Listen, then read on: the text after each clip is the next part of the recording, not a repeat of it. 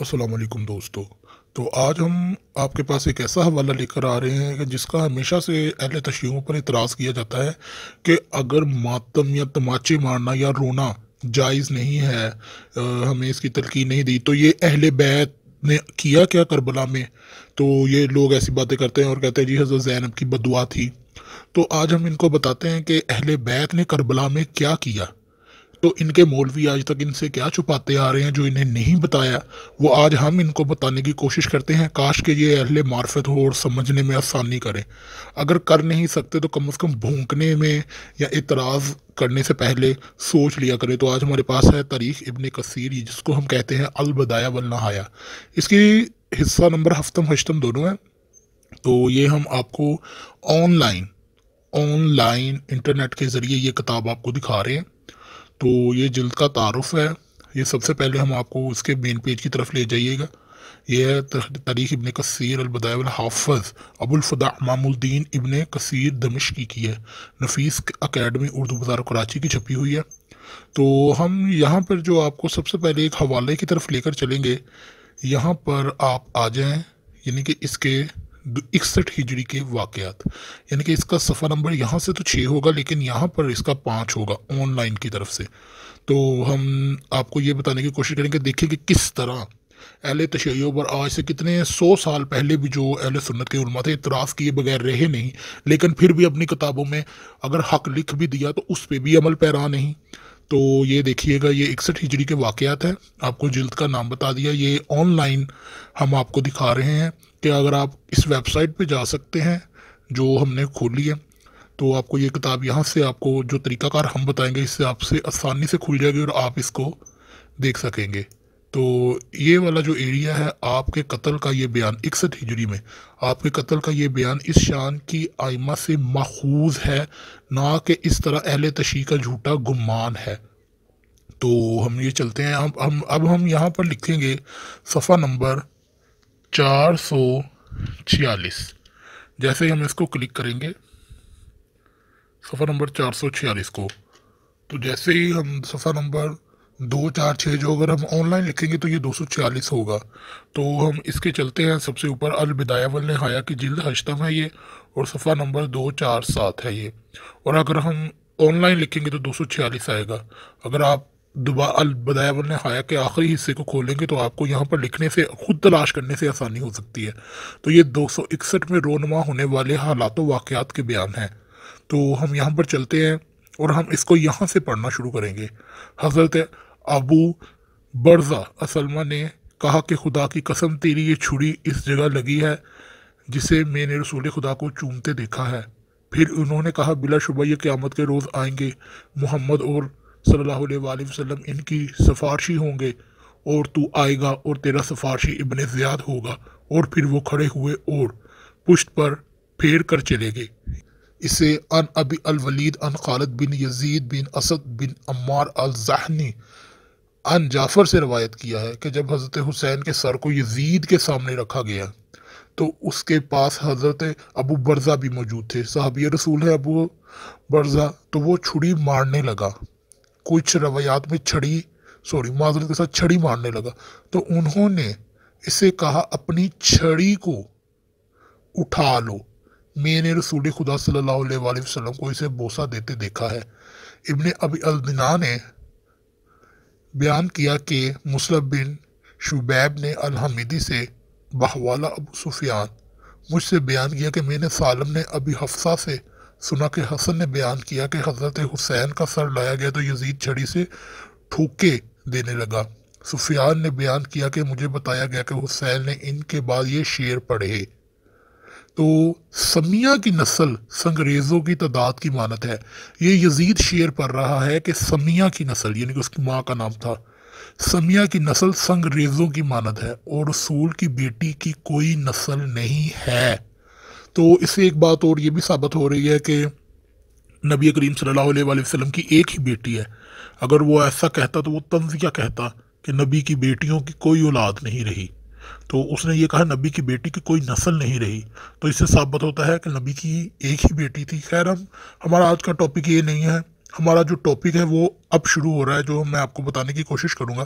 تو آپ یہ دیکھیے گا، اور آپ نے اس کے آگے کا حصہ ہے، اور آپ نے بقیہ اہل اور بیویوں کو عمر سعد۔ یہ عمر سعد کون ہے؟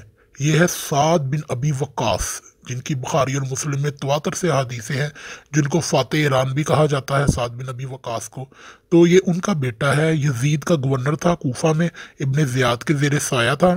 اور اس دن، دس محرم والے دن، یہی عمر سعد تھا جو یزید کے لشکر کا سلار تھا، ابن زیاد کی طرف سے۔ تو آپ لوگ کہتے ہیں کہ جی شیعوں نے قتل کیا تو یہاں پر تو سردار عمر سعد ہے، تو یہ تو صحابی کی اولاد ہے۔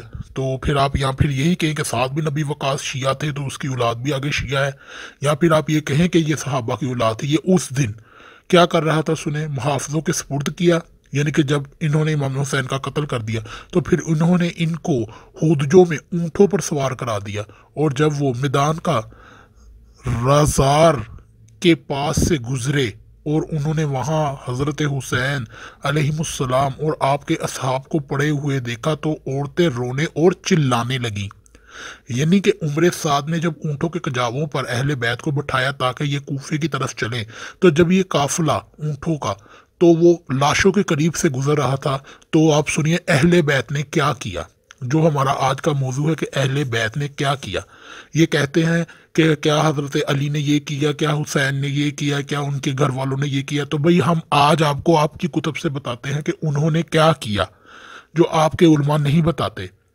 تو حضرت حسین، تو یہ ہم یہاں سے پڑھیں گے۔ حضرت زینب نے اپنے بھائی حضرت حسین کا ندبہ کیا، نوحہ کیا اور اس نے روتے ہوئے کہا۔ اے محمد صلی اللہ علیہ وآلہ وسلم، اے محمد صلی اللہ علیہ وآلہ وسلم۔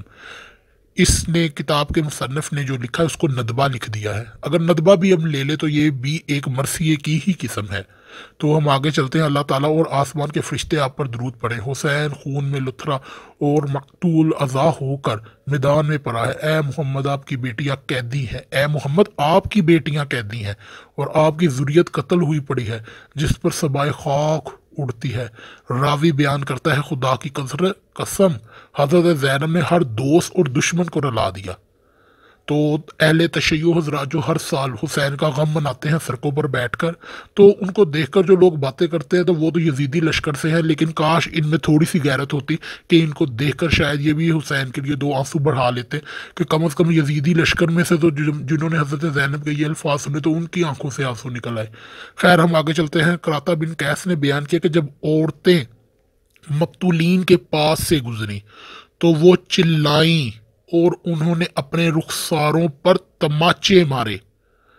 انہوں نے اپنے رخساروں پر تماچے مارے۔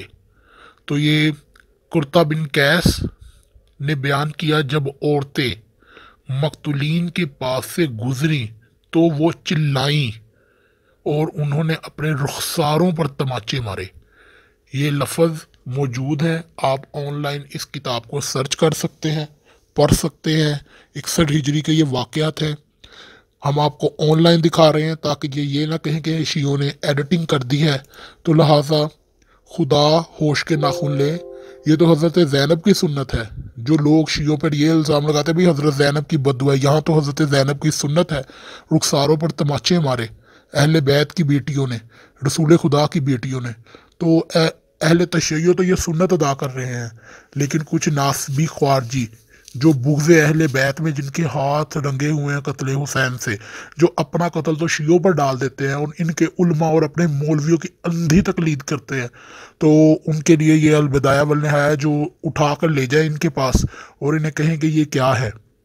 تو ہم نے آج آپ کو جو ثابت کرنے کو کہا تھا کہ اہل تشیعوں جو اپنا ماتم کرتے ہیں، رخسار پر تماچے مارتے ہیں یا اہل آزاداری کی کوئی بھی قسم ادا کرتے ہیں، وہ اس بنا پر کرتے ہیں۔ تو یہ آپ کے پاس میں آپ کو پھر دکھا دیتا ہوں۔ یہ صفحہ نمبر دو سو سینتالیس ہے۔ اکثر ہجری میں رونما ہونے والے واقعات۔ البدایہ والنہایا جلد حشتم ہے یہ ہمارے پاس۔ تو یہ میں آپ کو پھر ایک بار یہاں سے پڑھ کر بتا دیتا ہوں۔ ندبہ کیا حضرت زینب نے اپنے بھائی حسین پر اور روتے ہوئے یہ اشعار پڑھے ہیں۔ اور میں اس کو پھر بیان کرتا ہوں۔ اے محمد اے محمد، اللہ تعالیٰ اور آسمان کے فرشتے آپ پر درود پڑے حسین خون میں لوترا اور مقتول ازا ہو کر میدان میں پڑا ہے۔ اے محمد، آپ کی بیٹیاں قید ہیں اور آپ کی ضروریت قتل ہوئی پڑی ہے، جس پر سبائے خاک اٹھتی ہے۔ راوی کا بیان ہے، خدا کی قسم، زینب نے ہر دوست اور دشمن کو رلا دیا۔ کرتا بن کیس کا بیان ہے۔ کہ جب عورتیں مقتولین کے پاس سے گزری تو وہ چلائیں اور انہوں نے اپنے رخساروں پر تماچے مارے۔ اہل سنت حضرات سے گزارش ہے کہ وہ اپنی کتابیں ہی پڑھ لیا کرے اپنی تاریخ کی کتابوں سے تو دوسروں کی اہل تشریحوں کو تو بہت حوالے دیتے ہیں، لیکن خود کی کتابوں میں ماتم پڑا ہوا ہے ہم ان کو یہ نہیں کہتے کہ یہ کریں، کیونکہ ان سے ہوگا بھی نہیں۔ اہل بیت کی معرفت ان تک نہیں پہنچ سکتی۔ کم از کم بغض ہی کم کر لیں اپنا، اور اہل تشیعوں پر اعتراضات کرنے سے پہلے ہزار مرتبہ سوچ لیں کہ یہ سب چیزیں آپ کے مولویوں نے چھپائی ہوئی ہیں۔ اہل تشیع حضرات جو بھی کر رہے ہیں حدیث و قرآن اور سنت کے مطابق کر رہے ہیں۔ کوئی بھی مومن جو لا الہ الا اللہ محمد رسول اللہ پر ایمان رکھتا ہے بروز محشر پیش ہونے کا قائل ہے، اللہ تعالیٰ کے سامنے ہونے کا عقیدہ رکھتا ہے۔ کعبے کی طرف نماز پڑھتا ہے۔ روزہ، زکوٰۃ، ہر چیز کو واجب سمجھتا ہے، فرض سمجھتا ہے۔ تو لہٰذا گزارش ہے کہ اسے بھی اپنی آخرت کی فکر ہے۔ تو لہٰذا آپ لوگ اعتراض، اعتراضات کرنے کے بجائے کم از کم اپنی کتابیں پڑھ لیں۔ تو یہ البدایہ والنہایا تھی، جو ہم نے آپ کو آن لائن طریقے سے بتایا کہ آپ آن لائن طریقے سے جا کر یہ صفحات کو جا کر دو سو چھیالیس نمبر آن لائن اور صفحہ نمبر ہے جی اس کا دو چار سات، اکسٹھ ہجری میں رونما ہونے والے واقعات۔ تو آپ کو یہ تماچے والے واقعات مل جائیں گے۔ تو لہٰذا کم از کم اعتراضات کرنے سے پہلے تھوڑی سی شرم کر لینی چاہیے کہ ہماری کتابوں میں کیا لکھا ہے اور ہمیں بتایا کیا گیا ہے۔ تو ہم اس ویڈیو کو اب یہاں پر ختم کرتے ہیں۔ اگر آپ کو یہ ویڈیو پسند آتی ہے میری خصوصاً شیعہ مومنین سے گزارش ہے کہ وہ ہمارے چینل کو سبسکرائب کرے اور اس ویڈیو کو شیئر ضرور کرے وسلام۔